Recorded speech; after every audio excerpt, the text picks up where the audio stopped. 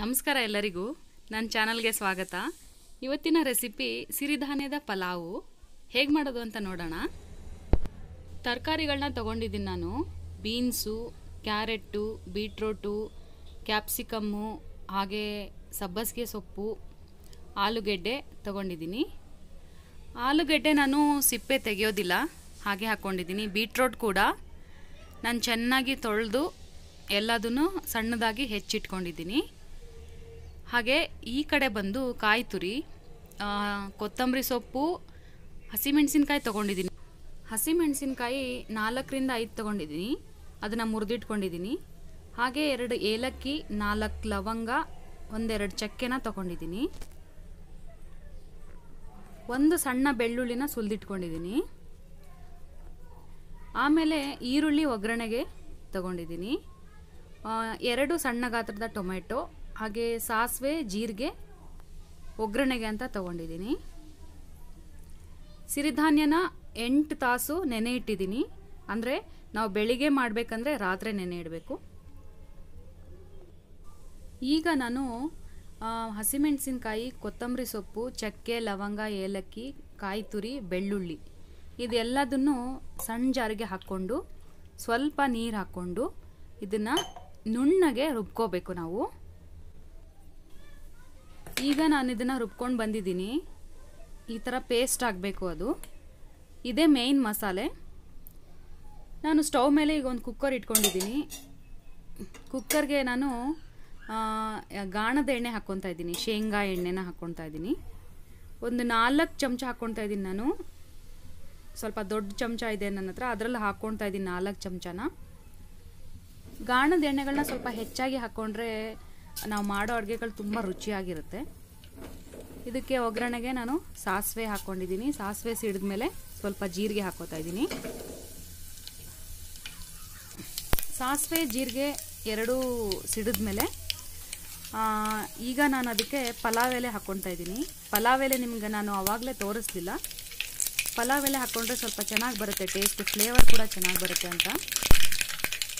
ಅದಕ್ಕೆ ಈಗ ಈರುಳ್ಳಿ ಹಾಕ್ಕೊಳ್ಳೋಣ ಈರುಳ್ಳಿ ಚೆನ್ನಾಗಿ ಫ್ರೈ ಆಗಬೇಕು. ಈರುಳ್ಳಿ ಚೆನ್ನಾಗಿ ಫ್ರೈ ಆದಮೇಲೆ ನಾವು ಇದಕ್ಕೆ ಸಣ್ಣದಾಗಿ ಹೆಚ್ಕೊಂಡಿರುವಂಥ ಕ್ಯಾಪ್ಸಿಕಮ್ ಹಾಕ್ಕೊಳ್ಳೋಣ ಕ್ಯಾಪ್ಸಿಕಮ್ ಕನ್ನಡದಲ್ಲಿ ಏನಂತಾರೆ ನನಗೆ ಗೊತ್ತಿಲ್ಲ ಫ್ರೆಂಡ್ಸ್. ನಿಮ್ಗೆ ಯಾರಾದರೂ ಗೊತ್ತಿದ್ರೆ ಕಮೆಂಟ್ ಮಾಡಿ. ಸಣ್ಣದಾಗಿ ಹೆಚ್ಚಿರೋವಂಥ ಕ್ಯಾಪ್ಸಿಕಮ್ ಹಾಕ್ಕೊಂಡು ಇದನ್ನು ಸ್ವಲ್ಪ ಫ್ರೈ ಮಾಡ್ಕೊಳ್ಳೋಣ. ಅದರಲ್ಲೂ ಹಸಿ ವಾಸನೆ ಇರುತ್ತೆ, ಅದೆಲ್ಲ ಹೋಗಲಿ. ಹಸಿ ವಾಸನೆ ಹೋಗೋ ತನಕ ನಾವು ಸ್ವಲ್ಪ ಇದನ್ನು ಫ್ರೈ ಮಾಡ್ಕೊಳ್ಳೋಣ. ನೋಡಿ. ನಂತರ ಇದಕ್ಕೆ ನಾವು ಸಣ್ಣದಾಗಿ ಹೆಚ್ಚಿರುವ ಟೊಮೆಟೊ ಹಾಕೊಳ್ಳೋಣ. ಟೊಮೊಟೊ ಹಣ್ಣು ಚೆನ್ನಾಗಿ ಬೆಂದು ಸ್ಮೂತ್ ಆಗೋವರೆಗೂ ನಾವು ಇದನ್ನು ಹುರ್ಕೋಬೇಕು.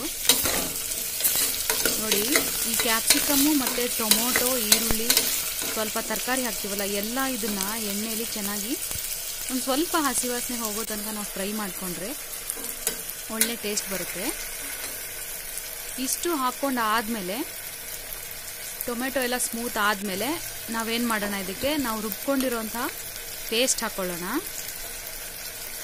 ಈ ಪೇಸ್ಟ್ ಕೂಡ ಅಷ್ಟೇ ಸ್ನೇಹಿತರೆ, ಚೆನ್ನಾಗಿ ಎಣ್ಣೆಯಲ್ಲಿ ಫ್ರೈ ಆಗಬೇಕು. ನಾ ಇದನ್ನು ಹಾಕ್ಕೋತಿದ್ದೀನಿ ಈಗ. ಜಾರ್ ತೊಳೆದಿದ್ದ ನೀರನ್ನ ನಾವು ಕೊನೆಗೆ ಹಾಕ್ಕೊಳ್ಳೋಣ ನೀರನ್ನ ನೋಡಿ ಇದನ್ನು ನಾನು ಹಾಕ್ಕೊಂಡು ಚೆನ್ನಾಗಿ ಬಾಡಿಸ್ತಾ ಇದ್ದೀನಿ.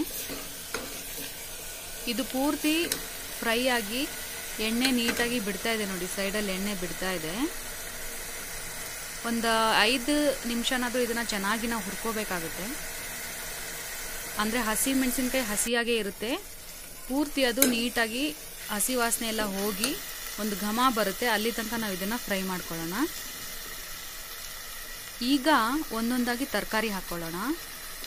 ನಾನು ಹೆಚ್ಚಿಟ್ಕೊಂಡಿರುವಂತಹ ಬೀಟ್ರೋಟು ಹಾಗೆ ಸಬ್ಬಸಿಗೆ ಸೊಪ್ಪು ಆಲೂಗೆಡ್ಡೆ, ಬೀನ್ಸು, ಕ್ಯಾರೆಟ್ಟು ಎಲ್ಲ ಹಾಕ್ಕೊಳ್ತಾ ಇದ್ದೀನಿ ಈಗ ಒಂದೊಂದೇ ಒಂದೊಂದೇ ಹಾಕ್ಕೊಂಡು. ಇದನ್ನು ನಾನು ಲೈಟಾಗಿ ಸ್ವಲ್ಪ ಹುರಿತೀನಿ ಇದನ್ನು. ನೋಡಿ, ಇದು ಪೂರ್ತಿ ಮಸಾಲೆ ಜೊತೆಗೆ ಈಗ ಬೆರ್ತಿದೆ. ಇದಕ್ಕೆ ನಾವು ನೆನೆಸಿರುವಂತಹ ಸಿರಿಧಾನ್ಯನ ಹಾಕ್ಕೊಳ್ಳೋಣ ನಾವು ಯಾವುದೇ ಸಿರಿಧಾನ್ಯನೇ ಉಪಯೋಗಿಸ್ಬೋದು ಫ್ರೆಂಡ್ಸ್ ಐದು ಸಿರಿಧಾನ್ಯ ಇದೆ. ನವಣೆ, ಆರ್ಕ, ಕೊರ್ಲೆ, ಊದಲು ಯಾವುದಾದ್ರೂ ನಾವು ಹಾಕೋಬೋದು. ನಾನು ಆರ್ಕ ಹಾಕೋತಾ ಇದ್ದೀನಿ. ಯಾವುದೇ ಕಾರಣಕ್ಕೂ ಸಿರಿಧಾನ್ಯನ ಇಮಿಡಿಯೇಟಾಗಿ ತೊಳೆದು ಹಾಕೋಬಾರ್ದು. ಅದನ್ನು ನೆನೆಸಿನೇ ಹಾಕೋಬೇಕು. ಮಿನಿಮಮ್ ಆರ್ ಅವರ್ ಆದರೂ ಸಿರಿಧಾನ್ಯ ನೆನೆದಿರಬೇಕು ನಾನಿಲ್ಲಿ ಎಂಟು ಅವರ್ ನೆನೆಸಿದ್ದೀನಿ.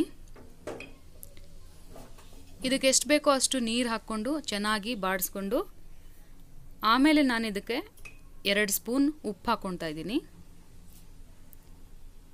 ಇದು ರಾಕ್ ಸಾಲ್ಟ್ ಆಗಿರೋದ್ರಿಂದ ನಾನು ಸ್ವಲ್ಪ ಕಡಿಮೆ ಹಾಕೋತೀನಿ. ಪತಾಂಜಲಿ ಅವ್ರದ್ದು ರಾಕ್ ಸಾಲ್ಟು ಆಮೇಲೆ ಲಿಡ್ನ ನಾವು ಕ್ಲೋಸ್ ಮಾಡಿಕೊಂಡು ಎರಡು ಅಥವಾ ಮೂರು ವಿಷಲ್ ತಗೊಳ್ಳೋಣ. ಈಗ.